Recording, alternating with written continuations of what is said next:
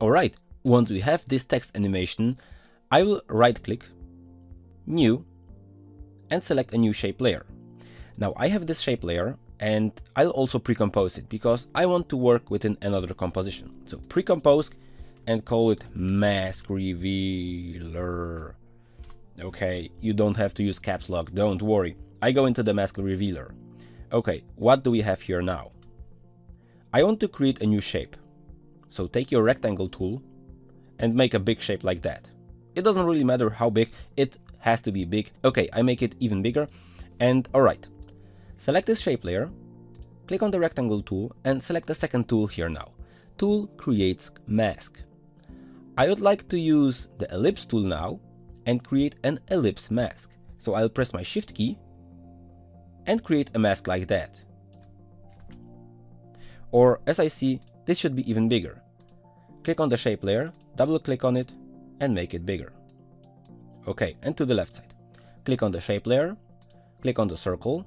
Remember to click this button because normally it would create a shape, but you want to create a mask. Boom, a mask, and with the shift key, create a mask like that. Now you may not see what's happening here, but uh, let me take it into the screen. You see, this is a big white mask. Now I'll double click on the mask because it appears it could be placed better and it still can be bigger. Okay, is this enough? Perfect. Reveal the mask and use mask feather. I'll feather the mask out to about, you see, that's why this object needed to be so big, because even with the feather, this shape layer has to be bigger than that. Okay, perfect. Now we have the mask feather set to 500 pixels and I'll take this shape layer and place it on the left side. You need to make so this, this little object will fade into the screen. There are so many ways of doing this. For example, you can take this anchor point, press Y on your keyboard, take the anchor point, now click on this shape layer and press S. If you would make a scale animation, it would slowly fade and reveal into the screen. But I want to take a different approach, but the scale seems really promising, but you can also do it like that, if you want to be a bit more professional and advanced. Right click, New, and select Null Object. This null object, take the Move tool and place it here on the bottom. Now select Shape Layer and tell it, Shape Layer, this null object is your parent. You have to obey him. Okay, by obeying, I mean pressing on the null object, pressing R like rotation, and having fun with the rotation. You see, now the rotation, it appears isn't so perfect, so you need to animate this. Click a stopwatch here. Oh, this keyframe should be at the beginning, at the very beginning, and going maybe one second forward, the rotation should be like that. And now the scale I see should be okay. Now it covers the entire screen, does it? If not, just take it, take the selection tool and adjust it so it covers the entire screen. Now we have it Oh, the rotation should be stronger. At the beginning, delete this keyframe, should be negative amount because you can't see it on the screen. It has to come in and reveal the screen. And this is why we use white color. Okay, you've done your revealer. Your animation should look like that. Perfect. I really like this animation.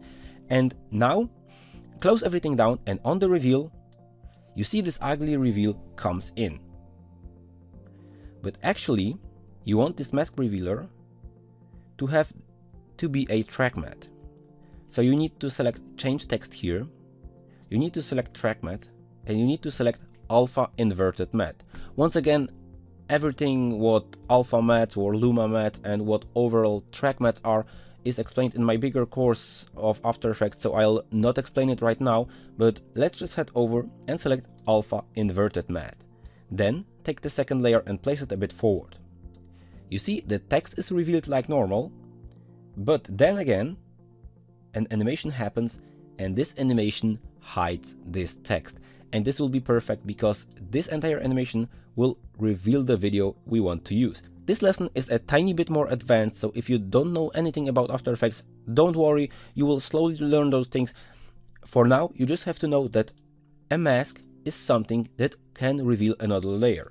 we created here a custom mask, we created an animation, and we use this animation to reveal our screen. And that's what all After Effects transitions, video transitions are about. So one video goes to another video, and this is all made with reveals, masks, transitions. This all falls into this one category, and you need to know a little bit about this in order to make such animations. Okay, we have the beautiful reveal. I really do like how it flows into the screen. It nicely fades out the text, it isn't too strong, so let's head over to the next lesson where we'll add some coloristic and overall adjustments and we will follow through with this animation.